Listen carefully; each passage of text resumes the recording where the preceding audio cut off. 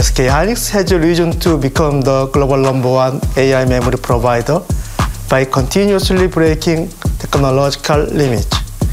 We were the first to develop and mass produce HBM3, the AI memory which kickstarted the generative AI revolution.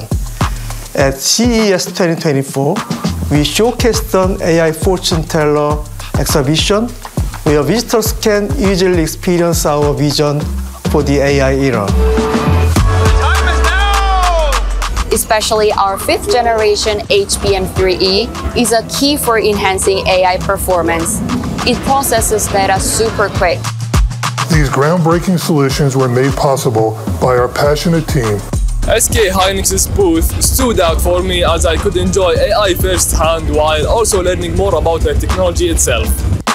It was great to see SK Hynix's efforts to minimize the environmental impact of its products by improving their power efficiency without making compromises on performance.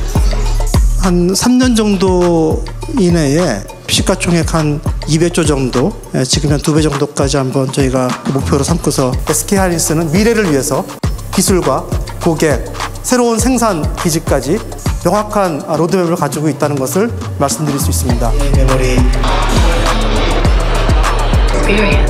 As a leading company for future AI infrastructure, SK Hynix will continue to build a better world with its advanced technology.